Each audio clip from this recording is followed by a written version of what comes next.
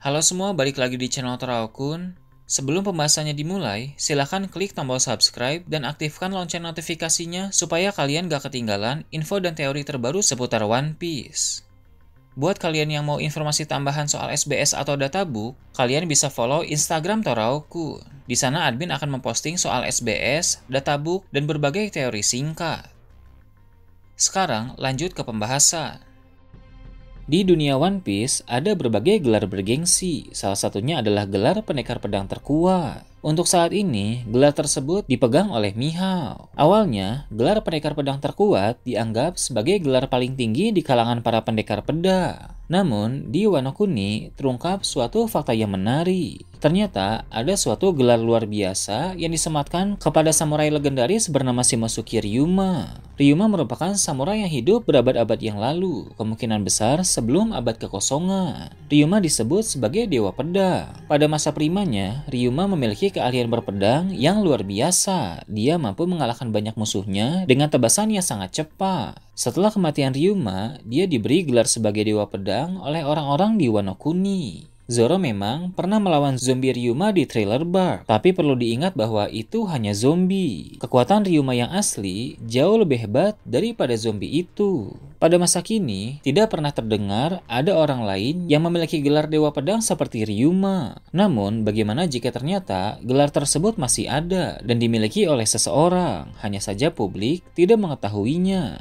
Dan jika memang penyandang gelar dewa pedang masih ada, maka orang tersebut pasti akan menjadi lawan Zoro suatu saat nanti. Zoro harus mempersiapkan diri dengan baik dan mengembangkan teknik-teknik baru untuk mengalahkan sang dewa pedang itu.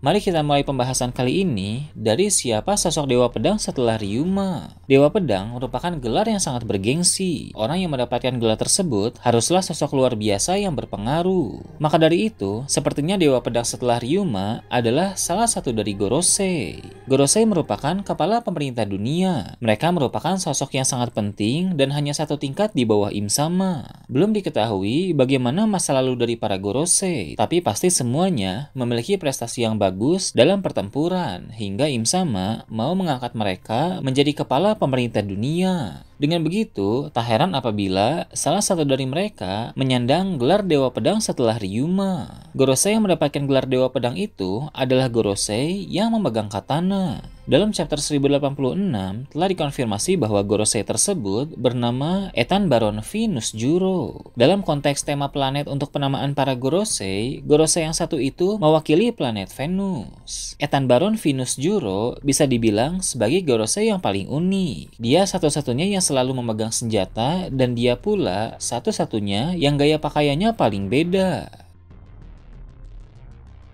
Jadi, Ethan Baron Venus Juro adalah dewa pedang yang baru. Namun, berbeda dengan Ryuma yang mendapatkan gelar setelah kematiannya, Nus Juro mendapatkan gelar saat masih hidup. Sepertinya pada masa lalu, orang-orang bersepakat bahwa gelar dewa pedang harus diteruskan kepada seseorang yang masih hidup. Tidak boleh berhenti pada Ryuma yang telah mati. Nus Juro yang sangat hebat dalam memakai pedang pun mendapatkan gelar tersebut. Hanya saja, publik pada masa kini tidak tahu tentang hal itu. Sama halnya dengan Ryuma, sepertinya Gorosei Nusjuro pun berasal dari Wano Kuni. Ada beberapa hal yang mendukung opini tersebut. Pedang yang dimiliki oleh Nusjuro adalah sebuah katana atau pedang Jepang. Pedang semacam itu pada umumnya berasal dari Wano Kuni. Bahkan, sejak lama ada teori populer bahwa pedang milik Nusjuro merupakan Sodai Kitetsu. Pedang Kitetsu berasal dari Wano Kuni dan terbagi menjadi tiga generasi. Generasi ketiga bernama Sandai Kitetsu yang dimiliki oleh Zoro. Generasi kedua bernama Nidai Kitetsu yang disimpan oleh Sukiyaki di Wano Kuni. Generasi pertama bernama Sodai Kitetsu yang keberadaannya masih misterius, tapi banyak penggemar menduga itu dimiliki oleh Gorosei Nusjuro. Pedang Kitetsu merupakan garis pedang yang terkutuk, sehingga hanya orang-orang tertentu yang bisa memakainya. Sodai Kitetsu sebagai generasi pertama adalah pedang terhebat dari garis pedang terkutuk itu. Pedang tersebut masuk ke dalam kelas pedang 12 Saijo Owazamono, yang artinya pedang itu setara dengan Yoru milik Mihao. Jadi, wajar saja jika pedang sehebat itu dimiliki oleh Nusjuro sebagai dewa pedang.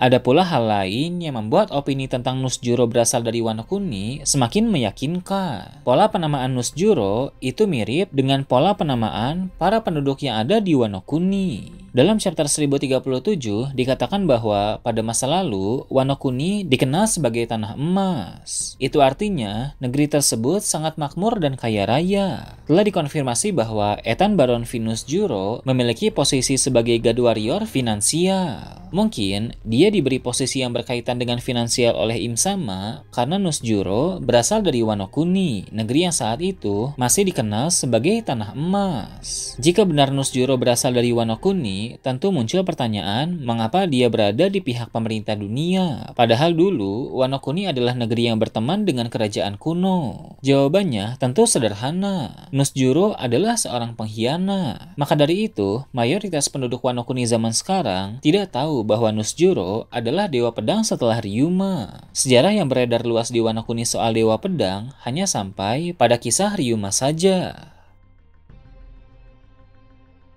Sebagai dewa pedang, tentu keahlian berpedang yang dimiliki oleh Nusjuro sangat hebat. Kemampuannya melampaui Mihao. Pada masa depan nanti, lawan terkuat Zoro bukan Mihao, melainkan Gorosei Nusjuro. Duel mereka sangat mungkin untuk terjadi, karena seperti yang kita tahu, akan tiba waktunya di mana kubu Luffy berperang melawan pemerintah dunia. Saat perang tersebut terrealisasi, lawan utama dari Zoro adalah Gorosei itu. Mereka berdua akan mendapatkan momen untuk bertarung satu lawan satu. Sebelum hal itu terjadi, Zoro wajib untuk berkembang menjadi semakin kuat karena Nusjuro memiliki kemampuan yang luar biasa. Memang Zoro sekarang telah semakin hebat. Busho Haki Zoro telah semakin kuat dan dia pun sudah bisa memakai Haushoku Haki untuk dialiri ke pedang. Dengan kekuatannya sekarang, Zoro bisa mendombakan musuh tangguh seperti Ki.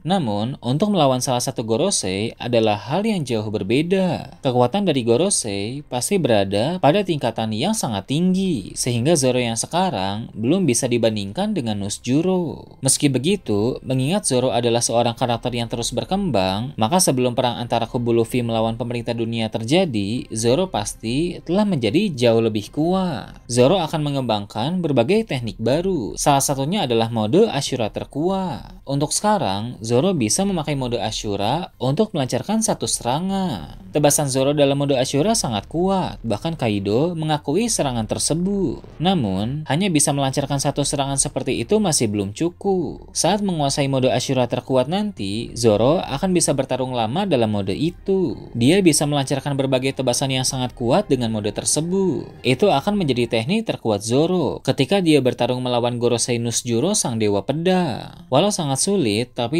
Zoro pasti akan berhasil mengalahkannya. Nah itu tadi teori tentang dewa pedang baru yang akan dihadapi oleh Zoro. Gimana menurut kalian? Silahkan tulis di kolom komentar di bawah. Oke segitu aja untuk pembahasan kali ini. Jangan lupa like, share, dan subscribe untuk video menarik selanjutnya. Gue Toraukun, Shambles.